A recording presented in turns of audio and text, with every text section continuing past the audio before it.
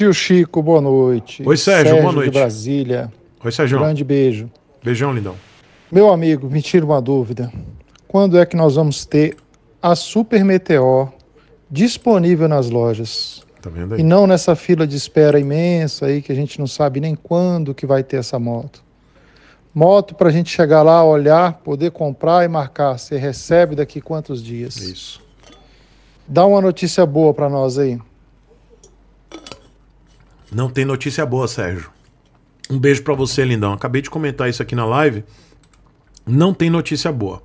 A perspectiva é a pior possível.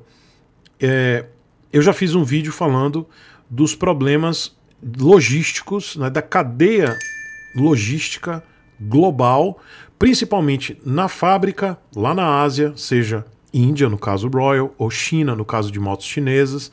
E eu fiz é, um, um vídeo específico falando de um e-mail que eu recebi de uma pessoa que trabalha com essas. É, com logística, né?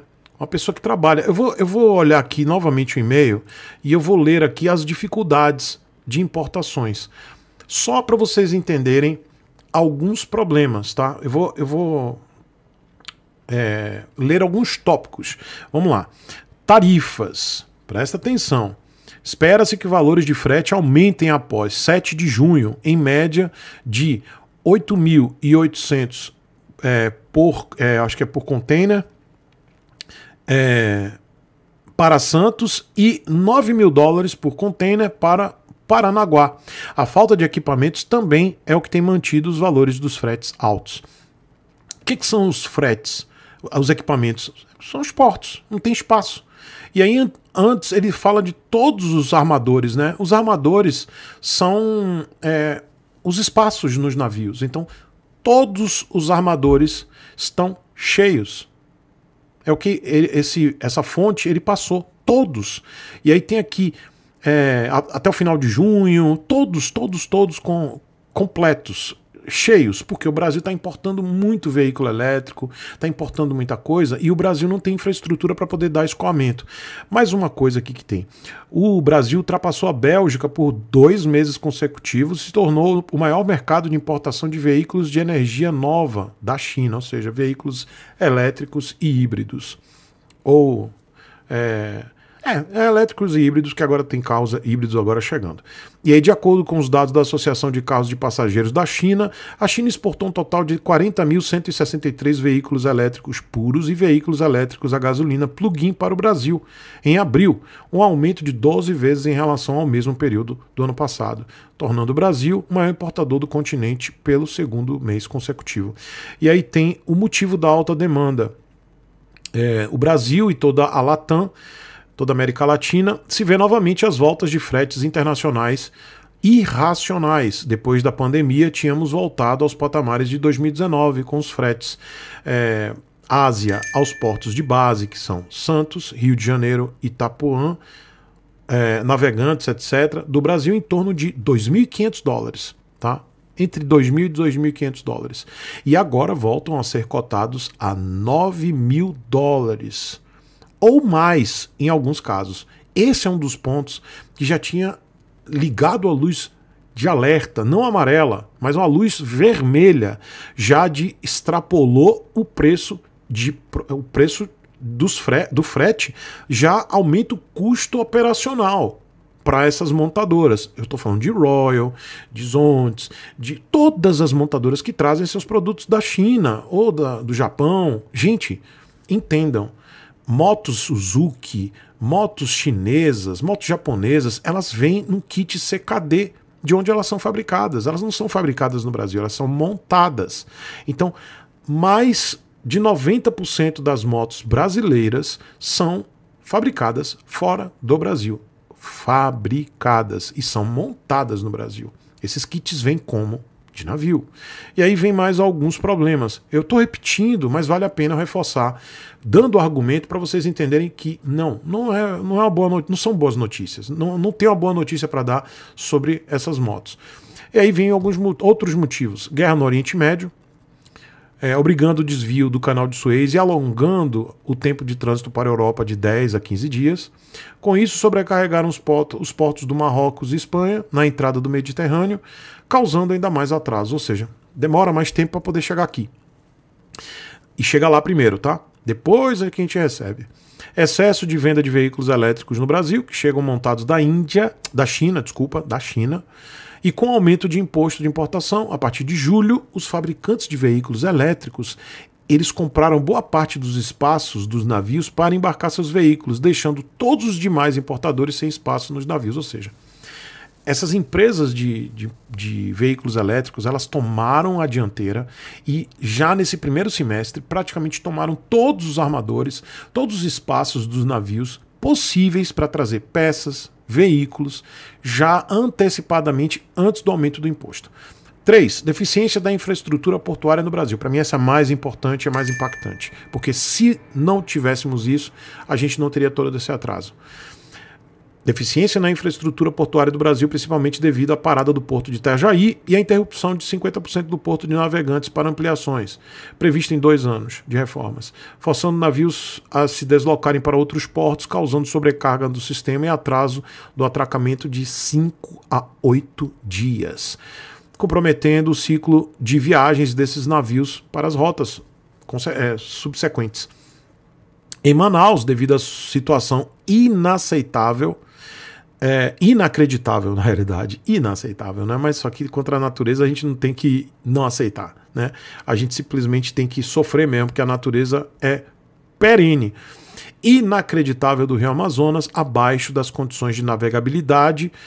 Entre outubro e dezembro, três meses passado, todos os fabricantes locais estão antecipando a chegada de materiais e produzindo fortemente para a retirada dos produtos da região antes que o rio baixe ao nível de se tornar impeditivo a navegação. Com isso, os fretes subiram exageradamente também, ou seja, tudo superlotado, porque o pessoal da Zona Franca já agilizando tudo, porque sabe que vai ter seca no último trimestre de 2024. E por último, quando falamos é, de uma alta demanda da BYD no envio de ve veículos elétricos montados, esquecemos como esses carros possuem bateria, o armador carrega somente de 5 a 10% de sua capacidade devido à segurança de carga e das demais que estão no mesmo navio. Aí são situações mais específicas, porque a BYD ela também tem o seu próprio navio, e aí eu não sei até quanto isso impacta, tá? Esse último ponto. Eu não vou nem levar ele como mais importante, porque a BYD tem o seu próprio navio, inclusive ela despejou aqui mais de 5 mil carros de uma vez só, tendo o próprio navio aí para distribuir seus veículos. Mas aí pode ser em relação a peças de reposição, baterias de reposição, enfim, tá? Isso tudo impacta no que eu vou dizer agora. Então, a notícia é a pior possível, Sérgio. Pior possível. Minha previsão para a Super Meteor e a Shotgun, que serão vendidas ainda esse ano, né? A Shotgun provavelmente nos próximos 60 dias ela vai estar disponível, vai ser lançada, vai estar disponível aí em tese nos concessionários para teste e para quem puder comprar, mas eu acredito que com maior facilidade a shotgun, ela só será, tanto a shotgun como a Super Meteor, ela só vai estar tá mais fácil para comprar no primeiro trimestre de 2025.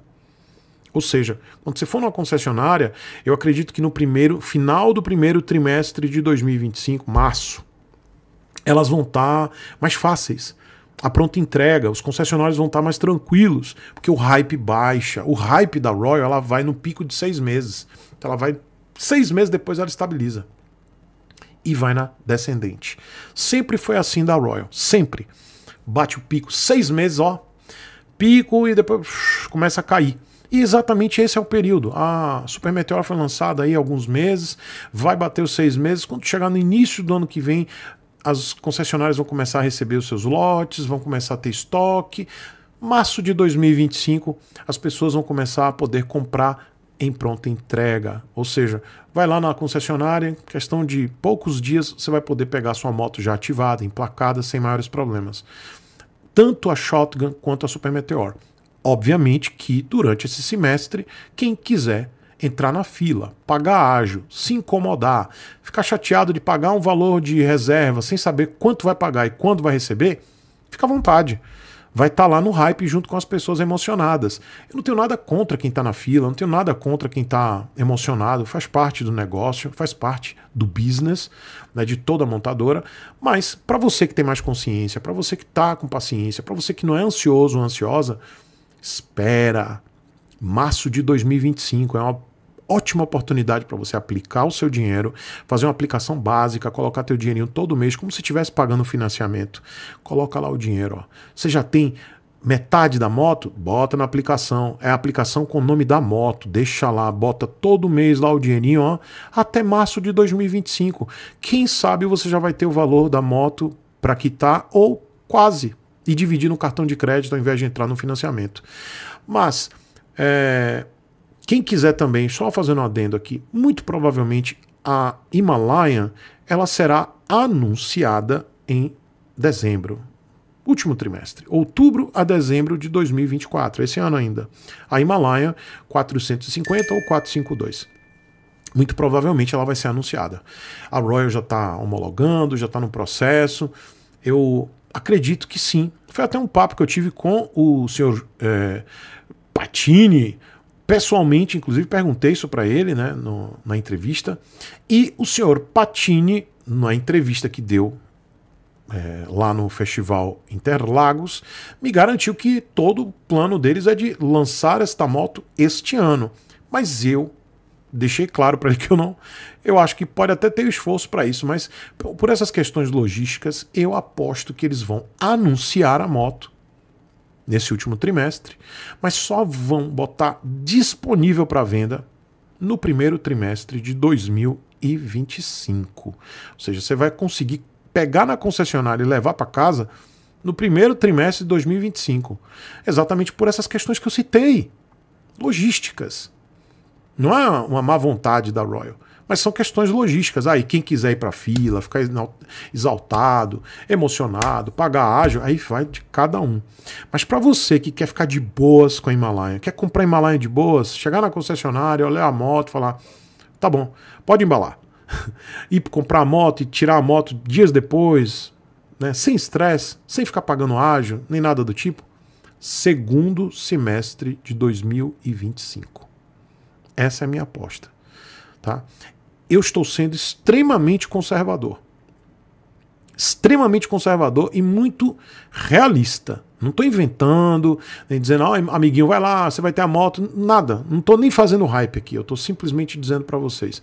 Quem quiser pagar ágil, entrar na fila, se desgastar, botar dinheiro lá na reserva, fica à vontade. Pode ter a moto antes. Pode.